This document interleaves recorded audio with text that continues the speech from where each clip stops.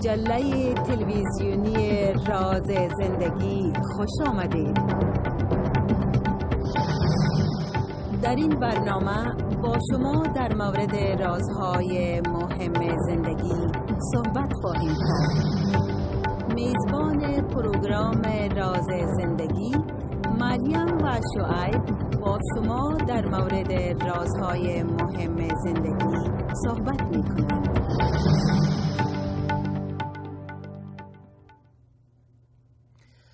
نام خداوند رحیم و مهربان به برنامه زنده راز زندگی خوش آمدین. سلام های مرا بپذیرین امیدوار هستم که هر کدامتان خوش سر حال و صحتمند باشین. دوستای عزیز وطنان گرامی ما هم به نوبه خود سلام های صمیمانه به شما تقدیم می‌کنم.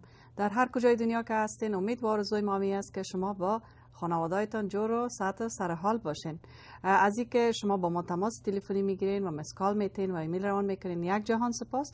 امیدوار هستم که همکاریتان با ما دوام بتین دوستای عزیز از این هفته شروع از این به بعد ما هر هفته برنامه زنده می داشته باشیم که از کارکنای شبکه هفت فارس ما بسیار سپاسگزار هستیم یا 107 پارس و همچنین از کارکنای خود برنامه راز زندگی که اینا زحمت می‌کشن هر هفته و خاط آمدن اینجا و ما برنامه زنده تقدیم شما خواد کردیم.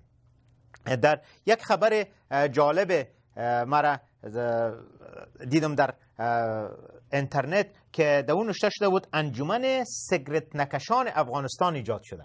انجمن سگرت نکشان افغانستان فعلا 600 عضو داره و میگن بعضی از اعضای کابینه و حتی اعضای پارلمان هم شامل از این انجمن سگرت نکشان افغانستان است. و حیدر جوانشیر رئیس انجمن سینماگرای افغانستان که این انجمن هم او ایجاد کرده. او میگه یک روز من صبح به دفتر می آمدم به خاطر کار دیدم که پنج نفر از ما کارمندای ما همه ما سگرت دود می کردیم و هوا هم تاریک بود و برق هم نبود و هواکش هم نبود و نفس قیط می شد. میگه دمونجا ما تصمیم گرفتیم که دیگه سگرت نکشیم. جالب است که هر کسی می‌خواه شامل انجمن سگرت نکشای افغانستان شوه باید پنج قسم یاد کنه قسمش چیست؟ اینا قسم می‌خورن. قسم به شیر مادر قسم به پسر و فرزند قسم به ناموس و قسم به قرآن که سگرت به دست نمی‌گیرم این قسم از اینا است و بعد از این یا می‌تونن شامل از این انجمن شون. و یکی از اعضای از این انجمن میگه که ما بعد از 20 سال رفیق خاین سگرت را ترک کردم.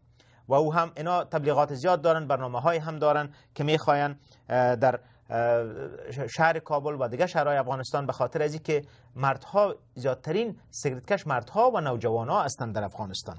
این بسیار کار خوب است و انوز هم در خانه ها در رستوران ها در هتل ها در جاهایی که گرچه قانون گفته که باید سیگرت کشیده نشه ولی انوز هم مردم سیگرت می‌کشن و مسوخته های سیگرت او طرف مندازن که واقعا کار خوبی نیست و ما باید در پاکی شهر و کوچه و همچنان در پاکی هوا و ای که هوای ما کثیف و آلودنش هم کوشش کنیم. خب دوستا در این مورد بیشتر گپ می‌زنیم. بین بریم یک مزمور بسیار خوب را با هم ببینیم و بشنویم.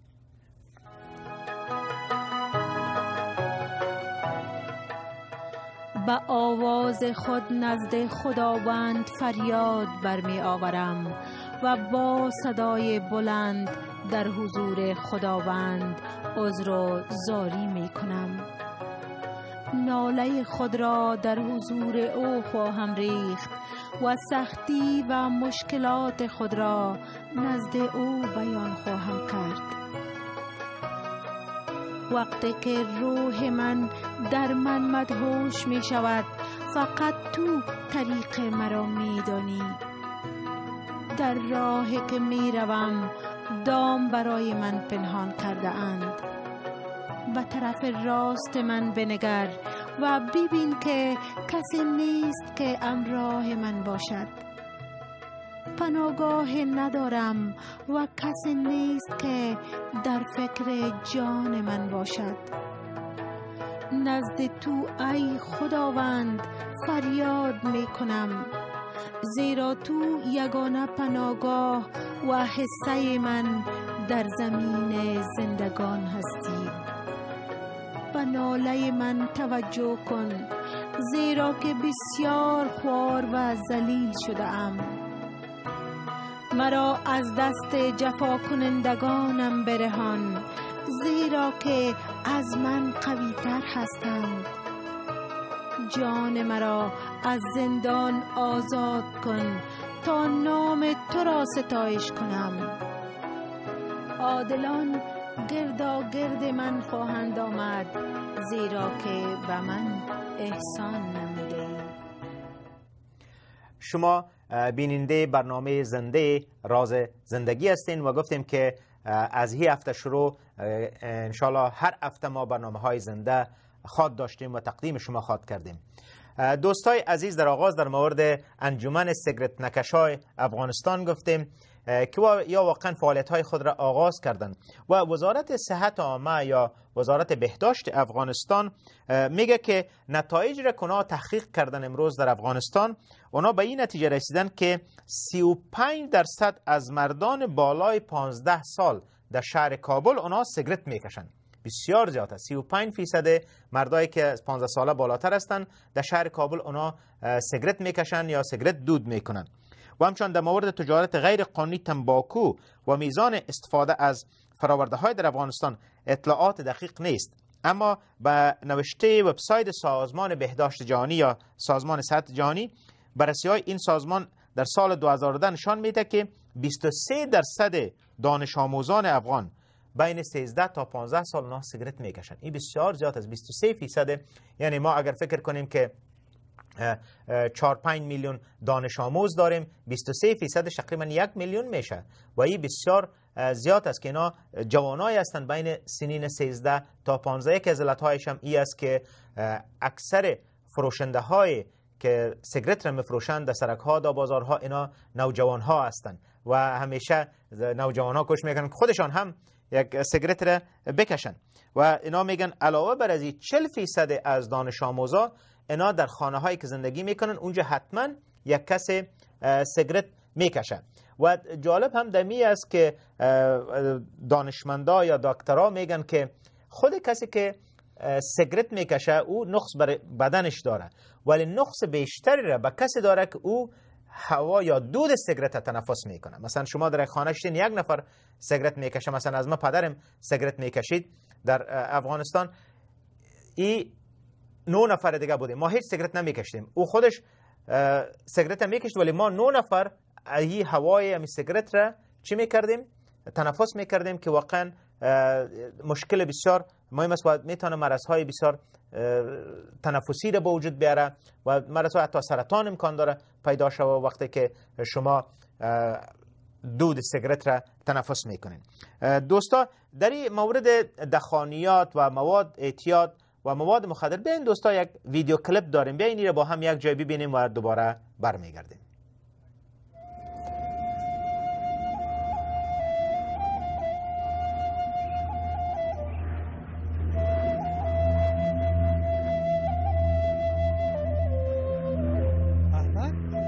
نه خودت هستی؟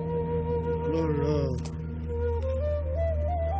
احمد جان خودت چی می‌کنی تو؟ سلام لالا لالا چطوری؟ خوب. بیا بیا پره بشی بیا. خمار است خمار. یی چی کسافات تو می‌کشی؟ چه میگی؟ یادت این بسیار بسیار خوبه یکی. غم دلتم می‌کنه بره اون نگفتم دیگه نه اینجا؟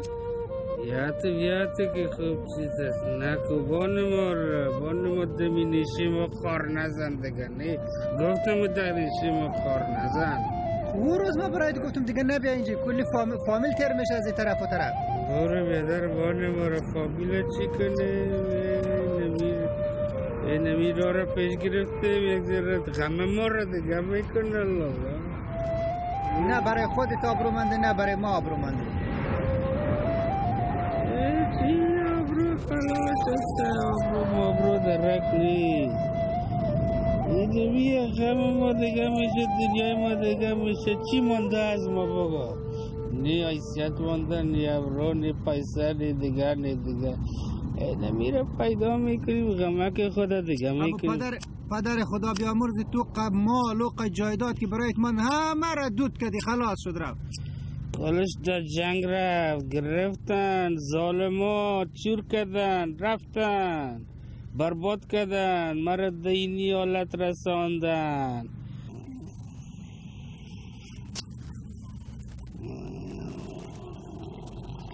واو ورستم خما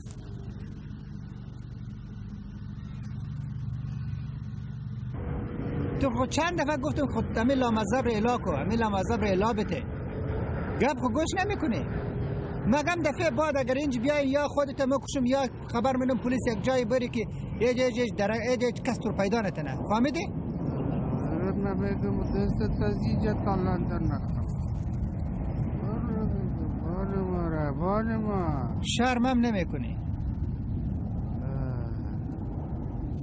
یا چی می‌کنی آبروی ما را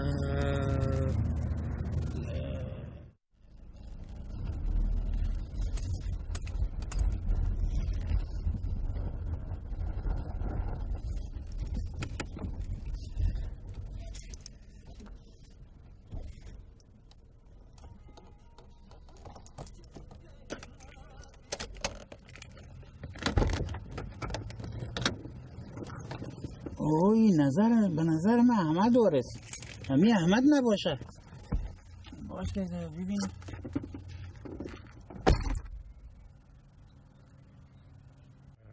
این خو هیروین زده او اه. آه. هیروین زده خدا چی مشکلات انداخته. احمد جان. احمد جان. احمد جان. ای بابا. احمد جان. احمد جان. چرا؟ چی؟ توی زندگی های داشتی؟ چی مقبولی هایی داشتی؟ چی قصه های خوبه که ما می‌کردی؟ چرا خودت ای حال روز انداختی عزیز دل برادر؟ ما باید دیر پیش دکتر ببرم شفاخانه ببرم اینه باید. بیا که بریم. بیا. بخی که بریم. این احمد جان. احمد جان این شکر خوب شدی بهتر شدی این ریش میشم چت و پت کردی. بسیار خوب بسیار خوب است. این خوب شده میری و خیر دیگه. دیگه حالت بیخی خوب میشه. ای دیگه تشویش نکنی. که من قول بده که دیگه تشویش نمی‌کنی. خیلی ببینی از برکت شما بود. اگنیال در اونجا درون خدام. چی میشونم در سر سرک یخ می‌زدیم خدام چی خود شکر که من برابر شدم. بردم پیش دکتر در شفاخانه. دیگه این استاستا که بخیر خوب شدین. من چند جای تلفن می‌کنم چند جای میرم. یک کار خوب براتون پیدا می‌کنم که کار کنین پس زندگیتان جو شوه پیسه داشته باشین مشکلات نداشته باشین. خلاص دیگه. از تشویش خلاص میشه بخیر دستان کم کم میلرزه آه او استاستا خوب میشه بخیر او استاستا خیر خوب میشه. خیلی بیدی بدن خیلی شما رو با زمان نه خواهش می‌کنم خواهش می‌کنم. خدا شما را دوست داره.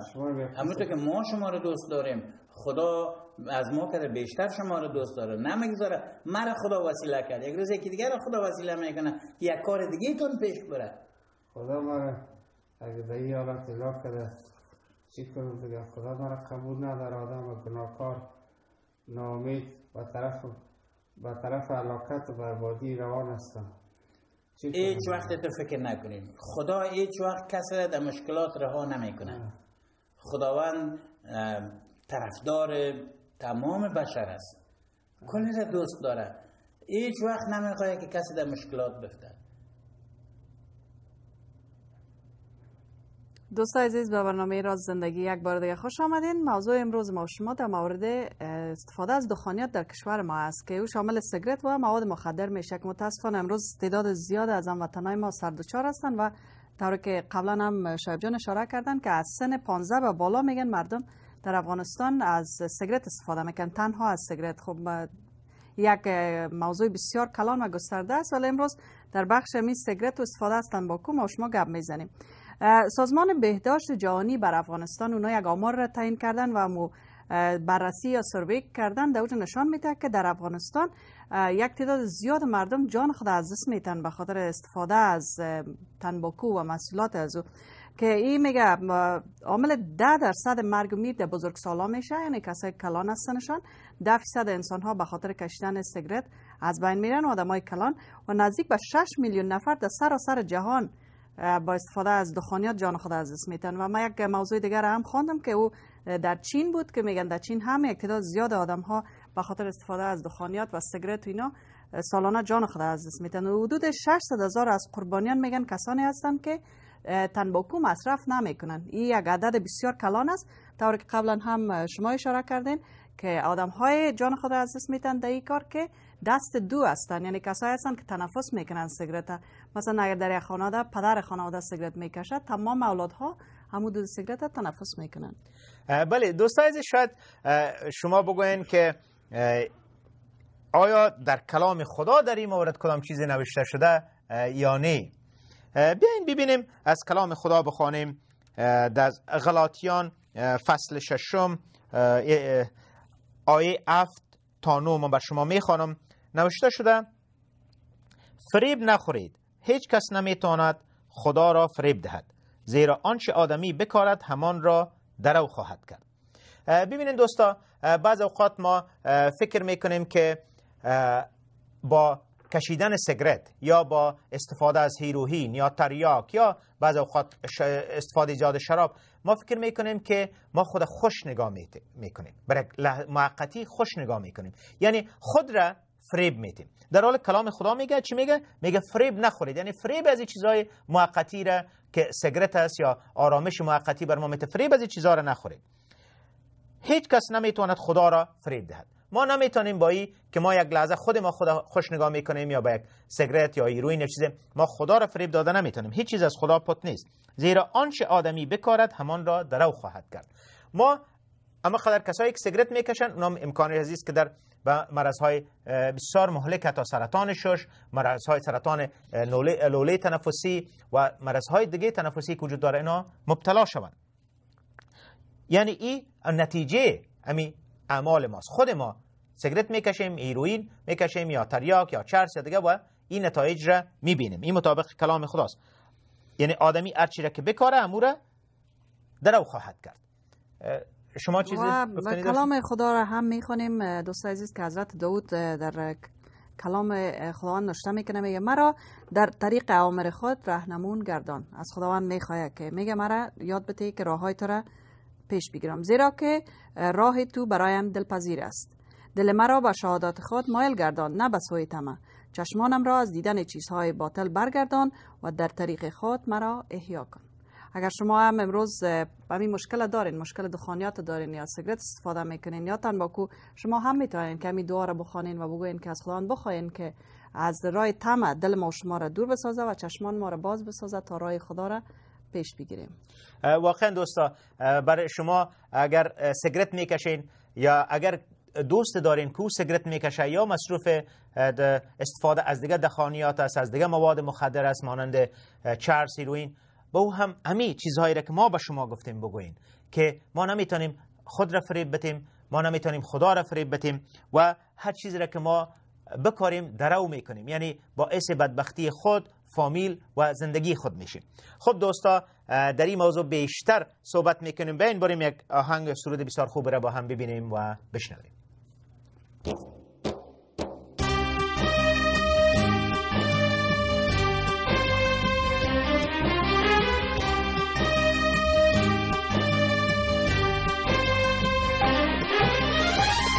مرا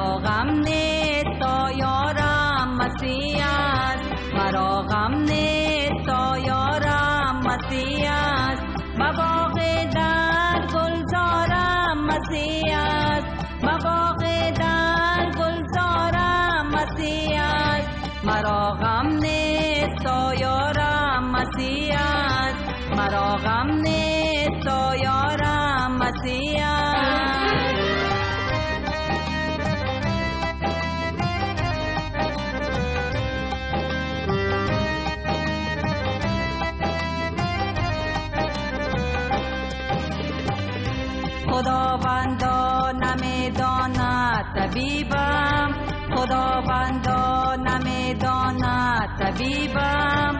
دوای قلب بیمارم مسیح است دوای قلب بیمارم مسیح است مرا غم نیست یارم مسیح است مرا غم نیست یارم مسیح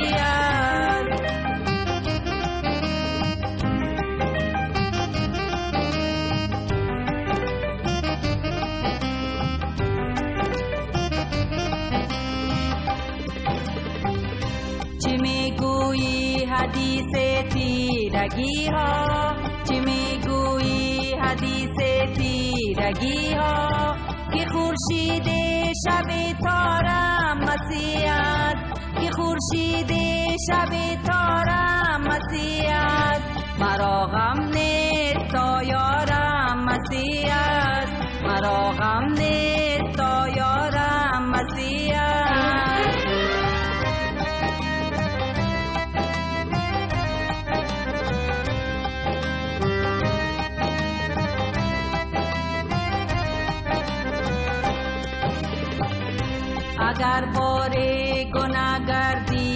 سنگین.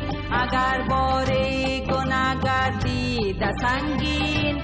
بگیرتان که این بارم مسیح است بگیرتان که این بارم مسیح است مرا غم نیست تا یارم مسیح است مرا غم نیست یارم مسیح است مباغ در گلزارم مسیح است مباغ در گلزارم مسیح است مرا غم نیست تا یارم مسیح است مرا غم نیست تا یارم مسیح است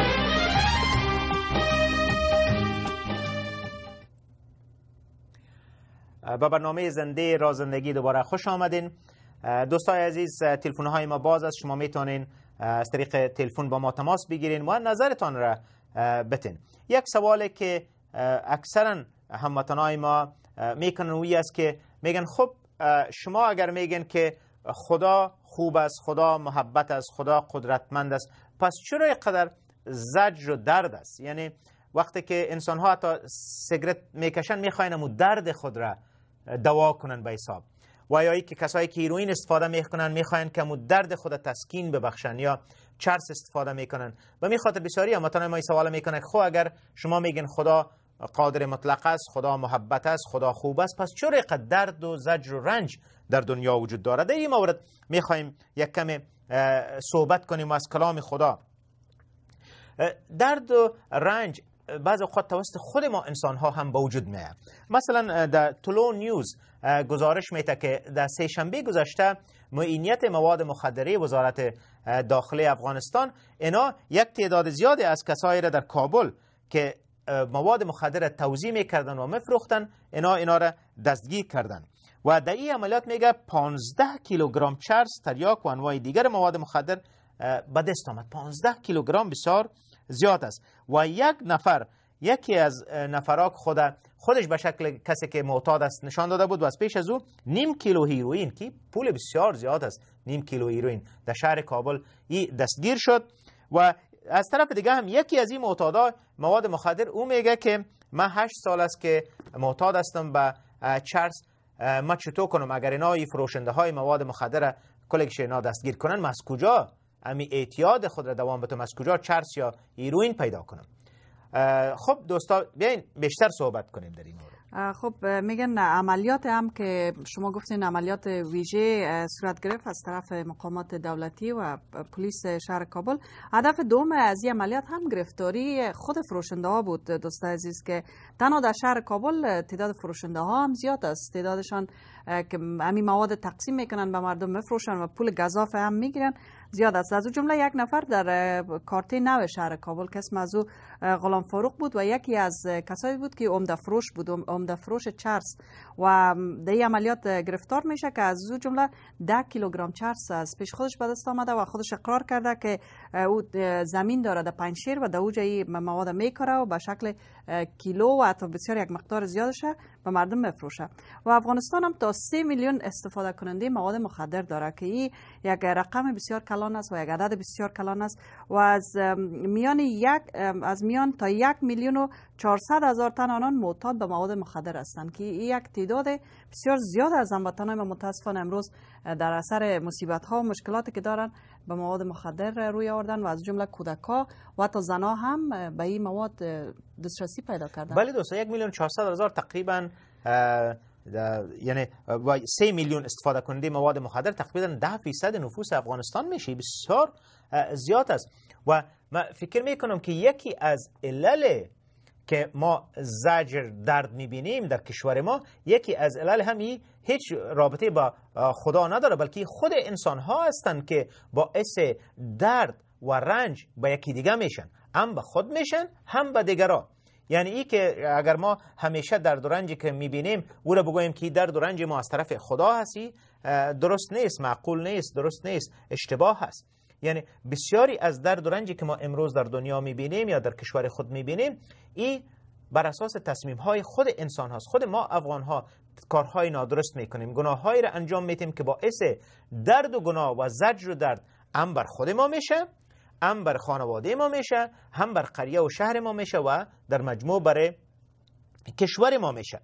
و ای که بگویم که کار خدا کرده. خدا هیچ وقت نمی‌خواه که کسی چرس بکشه. هیچ وقت خدا نمی‌خواه کسی هیروئین استفاده کنه. ما در از کلام خدا خواندیم که ما نمی‌تونیم نه خدا را می‌تونیم فریب بدیم و نه خود را. ما باز هم بر شما دوستا در اینجا از کلام خداوند تکرار می‌کنم که کلام خداوند میگه فریب نخورید. هیچ کس نمی‌تواند خدا را فریب دهد. ما نمی‌تونیم خدا را فریب بدیم یا خود فریب بدیم.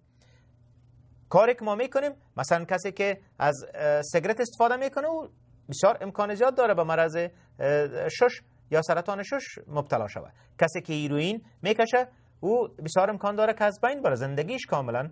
و عاطل و باطل در یک جای افتاده رقمی که ویدیو کلیپ ما و شما دیدیم. یعنی ای که خود تصامیم انسان هستی رابطه با خدا نداره. ولی همچنان همزمان خدا چون محبت است خدا چون خدای مهربان است خدای رحیم است. او می‌خواهد که ما را از امی اعمال ما نجات بده. از امی اعمال ما نجات بده. از طریق کلام خود شما هم خواندین و در اینجا هم میگه که زیرا آنچه آدمی بکند همان را در او خواهد کرد. و در اینجا میگه مثلا اگر کسی در آیت نهم امی غلاطیان فصل ششم میگه میگه از انجام نیکوکاری خسته نشیم زیرا اگر دست از کار نکشیم در وقت مناسب محصول خود را درو خواهیم کرد. نیکوکاری به چی معناست؟ به این معناست که کس دیگر که کمک کنیم. به این معناست که از امی دخانیات از سیگرت کشیدن از چرس از هیروئین جدا شویم. این نیکوکاری است. پس تا آنجا که فرصت داریم به همه نیکی کنیم مخصوصا به کسانی که در ایمان با ما اعضای یک خانواده اند. یعنی ای که با می کسایی که به کارها انجام میدن با اونا نیکی کنیم اونا رو مشوره بدیم و اونا رو کوشش کنیم که از این استفاده از هیروئین و این سیگرت و یا دیگه دخانیات از این دور شون و ترک کنن اینا را خب دوستا بیاین با هم بریم یک شعر را ببینیم و بشنویم دوباره برمیگردیم. خدا بخشنده این زندگانی است. که در هر گوشش راز نهانی است. ببین از بحر هر چیزی در عالم که تا واقع شود آن را زمانی است. زمان زادن و هم وقت مردن چو کشت و کندن هر بوستان است. ز قتل و هم شفا بنگر که در آن ز ویرانی و آبادی نشانی است. چی گوید گریه و هم خنده بشنو؟ چی گوید گریه و هم خنده بشنو؟ گهی وقت غم و گه شادمانی است. پراگنده نمایند سنگ ها را. ز پس گرد آورند در هر مکان است. بود وقت وصال و وقت هجران بود وقت وصال و وقت هجران بدان پیری به دنبال جوانی است. برای سود بردن فرصت هست ولیکن سودها را هم زیان است نگه دارند و گه دورش بریزند. دریدن دوختن کار جهانی است.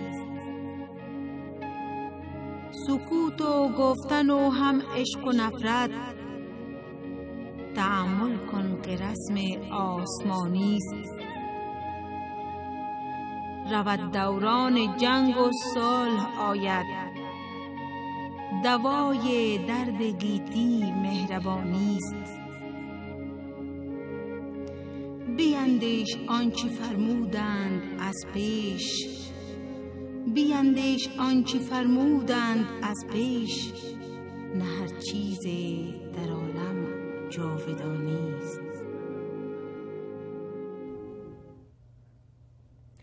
دوستای عزیز برنامه زنده را زندگی را شما تماشا می‌کنین و ما امروز در مورد عزیز صحبت می‌کنیم که اگر خدا محبت است اگر خدا قادر مطلق است پس چرا اینقدر درد و رنج و زجر در جهان وجود داره؟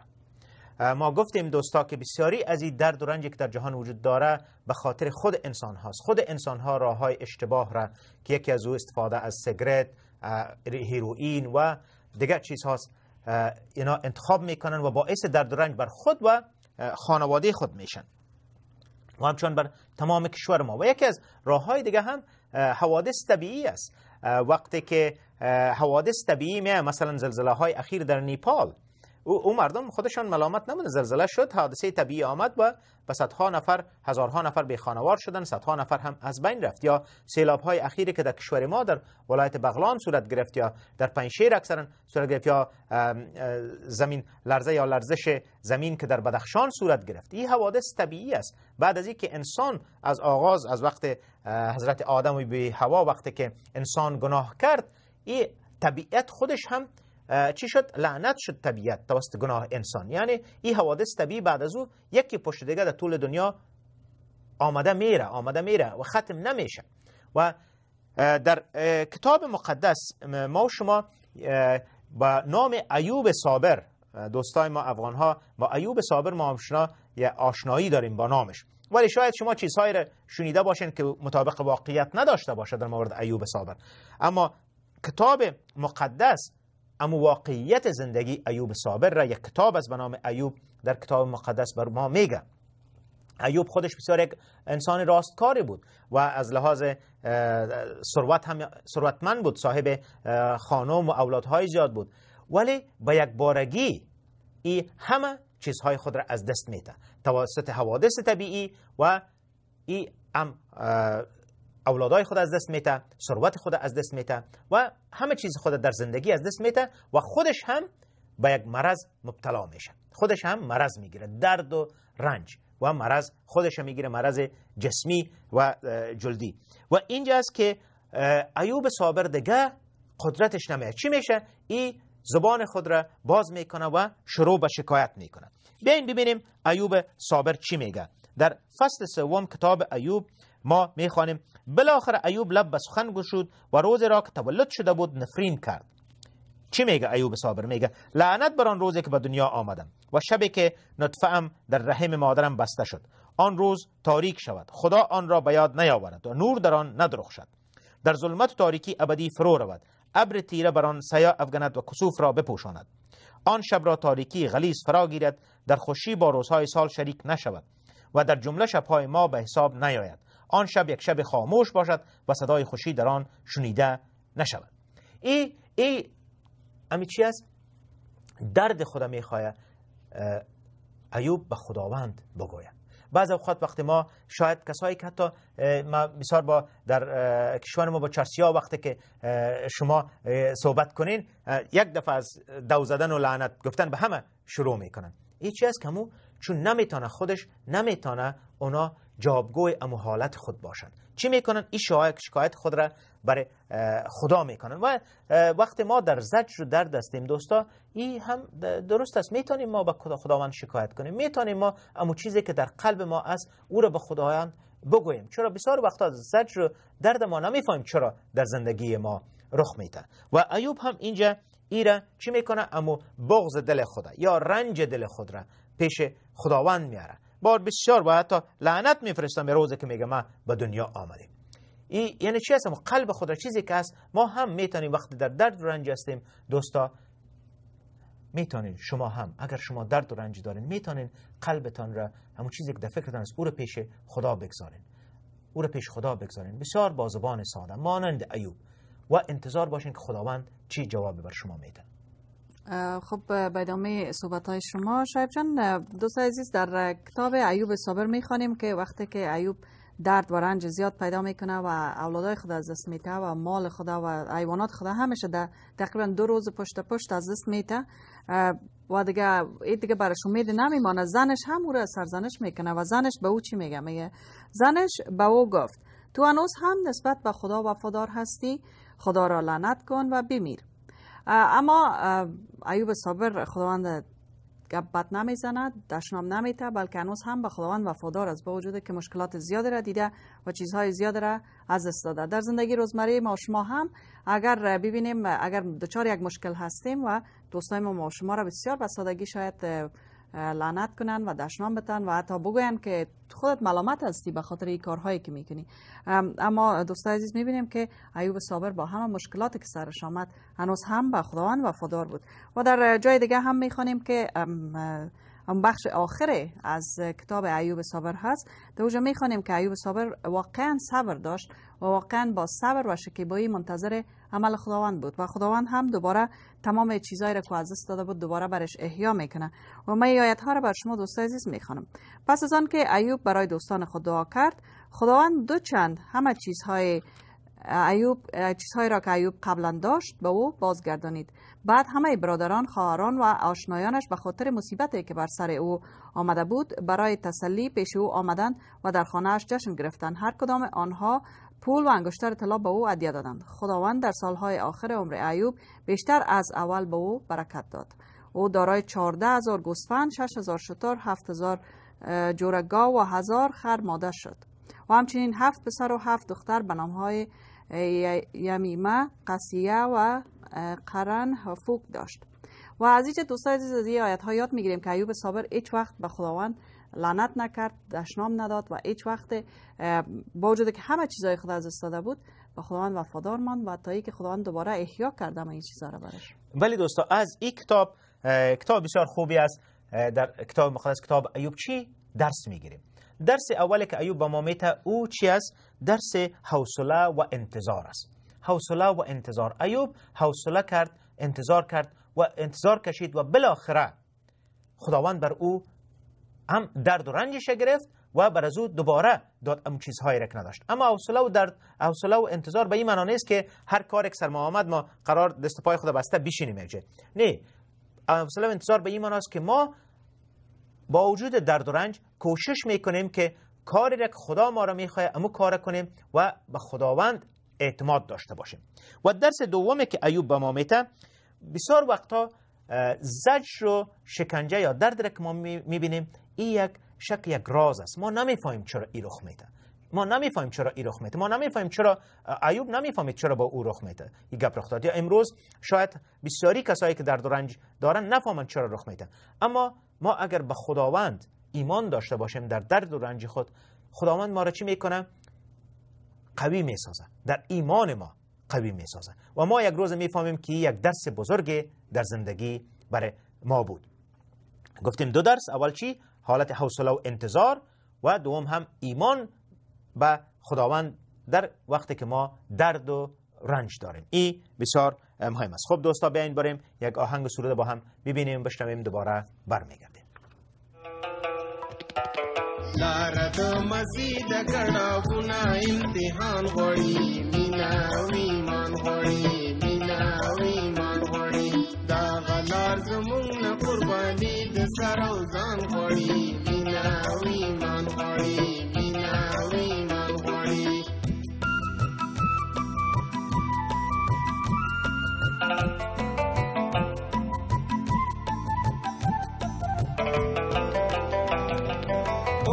مسیحیان پکې ښه ایمانداران پکې ښه ایمانداران پکې اوس مسیحیان پکې ښه پورته په اوږده د صلیب عظیم نشان غواړي مینا او ایمان غواړي مینا او ایمان غواړي لاره د مسیح د کړاوونه امتحان غواړي مینا او ایمان غواړي مینا او ایمان غواړي دا غلار زمونږ نه قرباني د سر او ځان غواړي مینا او ایمان غواړي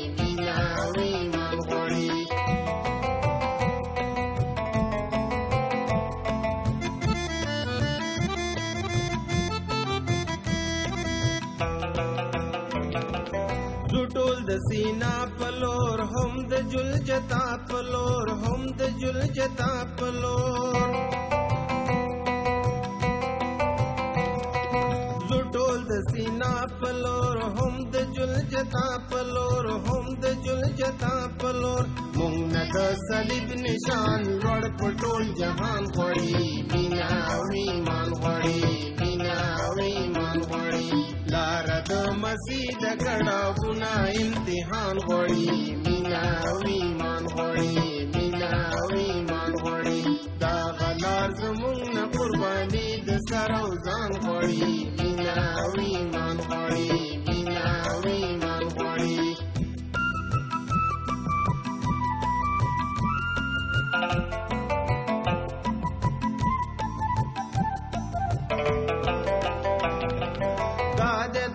تاوا استاد د لوقا وا استاد یوحنا وا استاد د متا وا استاد د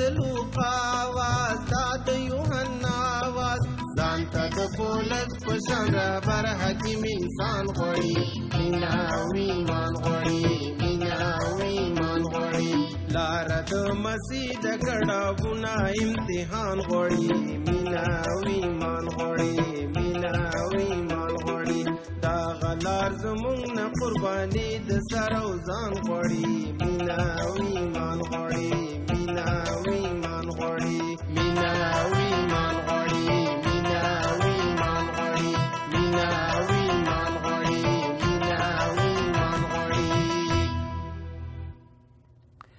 شما بیننده برنامه زنده را زندگی هستین. دوستا تلفن های ما باز است. شما می‌تونین زنگ بزنید در آغاز برنامه یک فکر می‌کنم یک مشکل تکنیکی داشتیم ولی حال شما می‌تونین زنگ بزنین و با ما در تماس شوین. خب دوستای عزیز بعض اوقات وقتی ما درد و رنج می‌بینیم یا بخصوص حوادث طبیعی که میایه بعضا شاید ما فکر کنیم که کسی گناه کرده در اینجا. مثلا یک زلزله سالها قبل در پاکستان شد و بعضی کسا فکر می‌کردن که در اونجا گناه صورت گرفته در یک تعمیر در اسلام آباد چپه شد. یا ای که مثلا وقت سونامی در اندونزیا صورت گرفت بعضی فکر می‌کردن که حتی من فکر می‌کنم یکی از مفتی های عربستان سعودی هم گفت که چون در یکی از اون جایا بسیار گناه می‌شد به او خاطر این سونامی یا حادثه طبیعی به وجود آمد. اما اینطور نیست دوستا حادثه طبیعی حوادث طبیعی سر خوب و بد نه. چی مردم خوب باشه یا بد باشه سر از اونها حادثه طبیعی میه. یعنی این مربوط به این نیست که کس گناه کرده یا نکرده.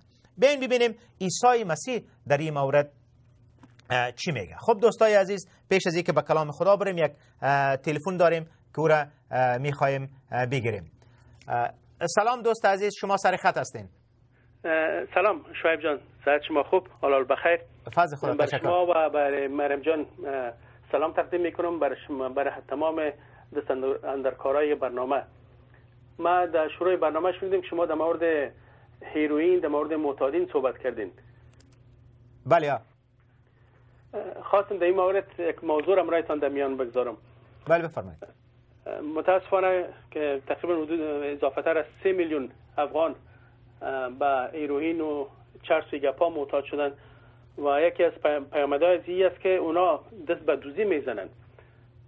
اخیرا چند نفر پودری به حساب کسایی که هیروین استفاده می‌کنن نمبر پلیت موتر برادر من دزدی کردن و بدبختانه این افراد با پلیس کابل همو اوزی که زندگی می‌کنن همشان دست دارد. و برای که بری نمبر پلیت نو بگیری تقریبا 20 هزار افغانی باید تو مصرف بکنی. اما اونا تقریبا 15 هزار افغانی خواستن که باید تو پیسه رو بتی برادرم برشان 6 هزار افغانی داد. ولی گفتم باش ما بریم ممرای قماندان گپ بزنیم که بر ما میتن نمیتن. دیگه بیاین دعا بکنین برای مردم افغانستان که واقعا ما وقتی که می‌بینیم در افغانستان هیچ امیدی نیست. مثل سرزمین فراموش شده است. دعا کنین که خداوند افغانستان خداوند مردم افغانستان به یاد بیاره. مردم در راه غلط روان هستند ترس خدا اصلا در دلایشان وجود نداره. خواستم این موضوع را رایتان در میان بگذارم. واقعا دوست عزیز این اه، مشکلی است مشکل دخانیات یا مواد مخدر هیروئین و چرس مشکل تنها فردی از یک نفر نیست. حال مشکل اجتماعی است و بله. این همچنان در اینجا تمام نمیشه. وقتی یک اه، با چرس می‌کشه وقتی از خود به خود میشه دیگه هر کاری می‌تونه کنه چی؟ دزدی باشه چی؟ سرقت باشه چی؟ کشتن اه، دیگرها باشه خب میشه برادر شما خودتان بیاین دعا کنین بر اول اه، برادرتان و همچنان برای کسایی که معتاد هستند سه میلیون معتاد. میشه برادر عزیز شما دعا کنین برای از اونا؟ بله چرا نه. بله بفرمایید. خداوند پدر آسمانی خدای قدوس تو را شکر می‌کنیم به تمام فیض و برکاتت. خداوندا دعا می‌کنیم که تو افغانستان و افغانا را خداوندا تو به یاد بری خداوندا. خداوند دعا می‌کنیم که کلام تو رهنمای زندگیشان باشه خداوندا. دعا می‌کنیم که با روح مقدست خداوند تو قلبایشان لمس کنی. خداوند از راه غلطی که روان هستند تو اونها را هدایت کنی در راه راست در راه مستقیم. همونطور که عیسی مسیح میگه که من راه راستی و حیات هستم خداوندا. همه ما سرگردان هستیم به طرف راه راستی خداوندا. خداوند دعا می‌کنیم برای تمام کسایی که به هیروئین پناه بردن. خداوند دعا می‌کنیم که برای همشان تو حکمت درایت بیتی. خداوند صحت برشان ارزانی بکنی تا بتانن خداوندا ای هیروئین و چرس و دیگه مسائل دخانیات خداوندا ترک بکنن و به فکر تو شون خداوندا توبه بکنن. در حضور مقدس تو زانو بزنن. که تو خدای قدرتمند هستی. تو خالق هستی. همه چیز به تو ارتباط داره ای خدای قدوس.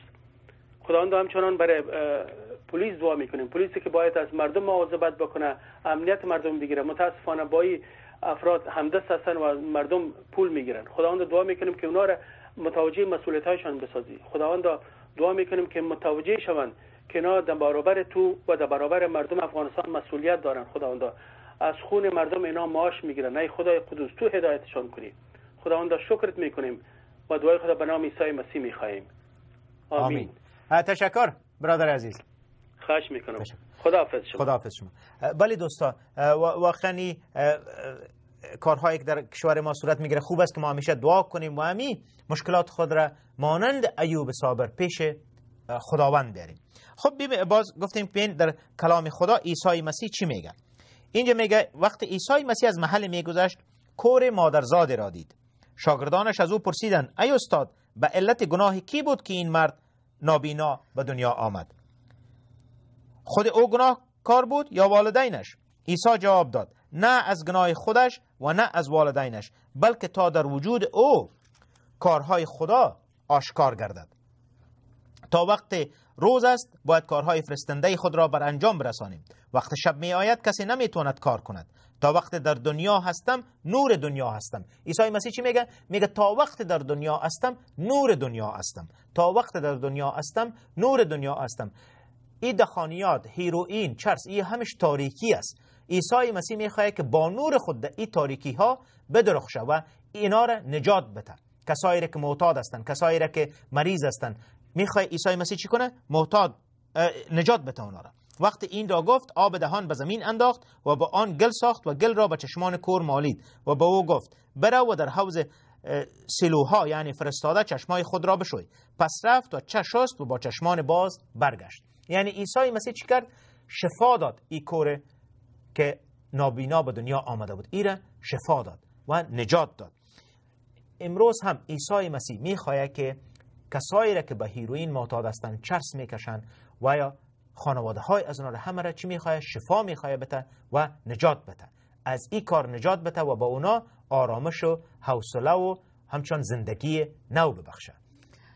واقعا دوست عزیز ام، پیام برادر ما که تلفن کردن پیام بسیار عالی بود و اه، از این یاد گرفتم و از صحبت از اینا ایتو دریافت کردم که واقعا هر یک ما و شما افغان ها به عیسی مسیح ضرورت داریم.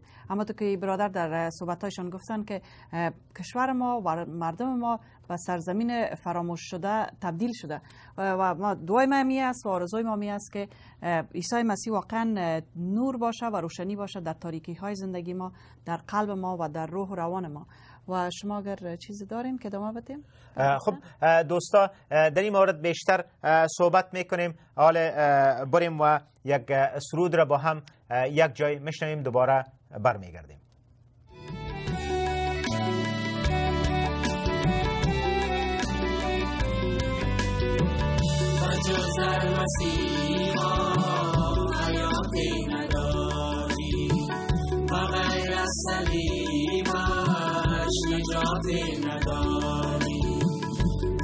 در مسیحا حیاتی نداری و غیر از صلیبش نجاتی نداری.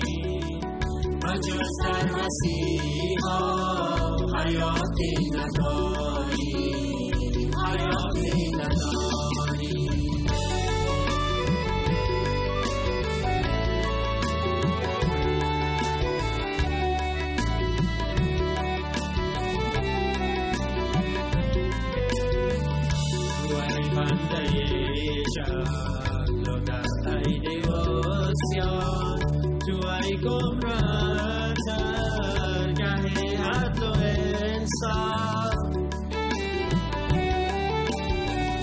گردیدن نگردد تو را مشکل آسان من بشنوی من ز پاکی زی جان و جز در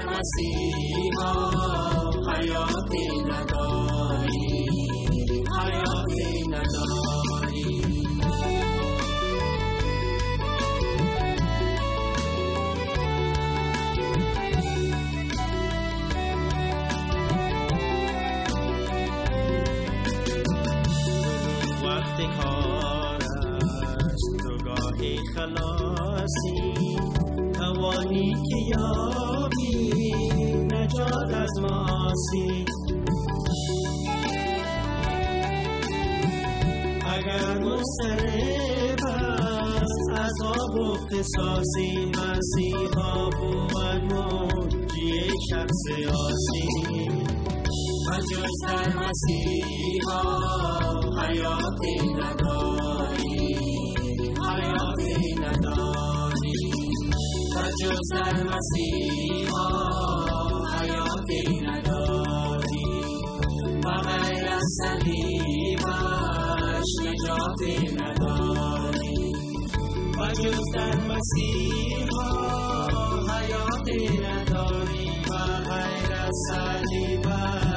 صلیبش نجاتی نداری و جز در مسیحا